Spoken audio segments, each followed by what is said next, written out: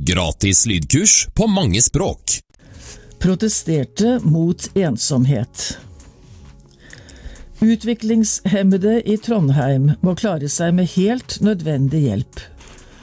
På fritida sitter de alene. Nå er vi én ansatt på jobb. Vi rekker å varme en ferdigmiddag fra Fjordland, og så servere. Folk skal også ha medisinsk hjelp. Vi kan ikke spørre om hvordan brukerne har det, for vi har ikke tid til å høre svaret, sier Trolig. Forrige mandag gikk et demonstrasjonstog i Trondheim. Kommunen planla å bruke 72,5 millioner kroner mindre på utviklingshemmede. Det gjelder for bo- og aktivitetstilbud i 2019.